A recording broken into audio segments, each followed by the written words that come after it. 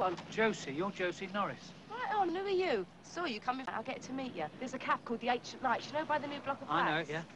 Josie, what are you doing here? I saw your car. Can we talk? Yeah, why not? What is it, trouble? Well, Ramscar's been threatening my mum. Ramscar, where is he? Well, nobody knows. He just sends messages. My old man's petrified. He's scared to go out. They know he talked to you. Listen, tell your mum and dad not to move, right?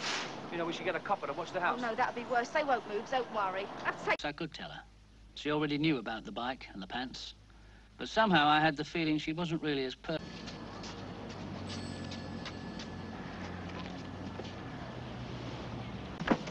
The hospital phoned me. Dad said that I have another heart attack. Well, I've got to go. Oh, yeah,